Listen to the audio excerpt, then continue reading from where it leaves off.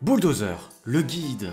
L'arme principale de Bulldozer est la batterie de canon. L'arme possède 80 munitions et inflige entre 1,5 et 5 dégâts par balle en fonction de la distance. Rouler boulet transforme Bulldozer en une boule qui augmente sa vitesse et qui recharge ses munitions si vous restez dans cette forme pendant au moins 2 secondes. Griffe crampon est un grappin qui va se fixer sur un décor pendant 6 secondes jusqu'à 23 mètres maximum. Tant que le grappin est déployé, votre vitesse augmente progressivement jusqu'à 100% et à votre vitesse maximum vous projetez et infligez 50 dégâts aux adversaires percutés. Le pilonnage vous projette sur le sol lorsque vous êtes au moins à 2,25 mètres de hauteur. Les ennemis dans un rayon de 8 mètres sont projetés en l'air et légèrement attirés vers vous, en plus de recevoir entre 20 et 100 dégâts en fonction de la distance du point d'impact. Le bouclier dynamique génère pendant 7 secondes 100 PV temporaires plus 100 PV temporaires par ennemi présent autour de vous dans un rayon de 10 mètres. L'ultime de bulldozer est le champ de mine. Vous déployez pendant 20 secondes 15 mines au sol qui possèdent 50 PV et qui infligent 130 dégâts chacune à l'impact.